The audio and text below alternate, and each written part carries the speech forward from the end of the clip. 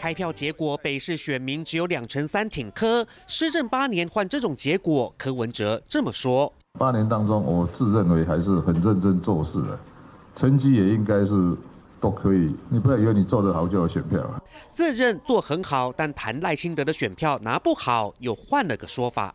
今天只是因为台湾政局的哦关系，你知道哈，让他得以继续执政，但这并不表示说民进党真的做得很好。啊做得好不好和选民感受当然有绝对关系。柯文哲这次在首都只拿到三十六万多票，大输给赖侯各自的五十八万多，而且十二个行政区全盘揭幕。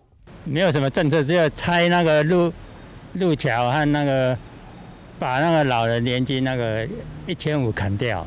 我没有看到什么政绩啊，只看到一天到晚骂人而已啊。只会讲说我多省钱，我会还债，我公开透明，这些都是抽象的、虚幻的，不是实质的政绩。所以台北市民看在眼里，给他打了一个超低的分数。台北市民用选票给柯文哲塞宾，本命区崩盘，老家乡亲也没有全力相挺。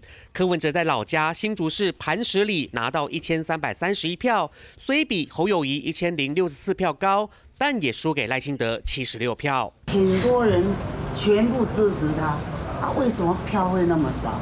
我觉得很奇怪呢。我真的是觉得有怀疑，不晓得怀疑什么，我不知道。柯妈妈替儿子抱屈，但真正体验过柯氏施政的北市选民，等于打了一张总结成绩单。三立新闻张宏伟、郑志伟特别报道。